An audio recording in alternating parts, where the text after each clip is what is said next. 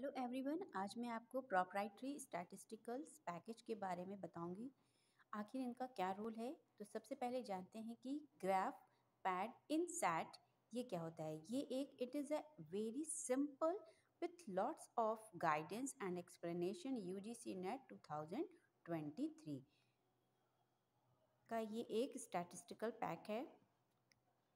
Next जो pack है, वो है ग्राफ पैड प्रिज्म इसमें क्या है it is a bio biostatistics and non linear regressions with clear explanations I B M S P S S statistics it has a comprehensive statistics package next है I B M S P S S modeler it has a comprehensive data mining and text analytics workbench MATLAB This is a programming language with statistical features.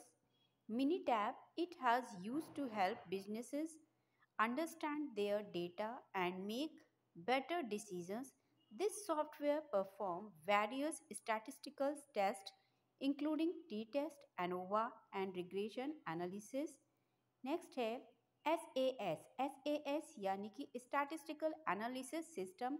It is a comprehensive statistical package next है S T A T S direct stats package design for biomedical public health and journal health science usage ये जो जो स्टैटिस्टिकल्स package हैं, ये अक्सर UGC net के exams में पूछे जाते हैं। इनका क्या मतलब होता है?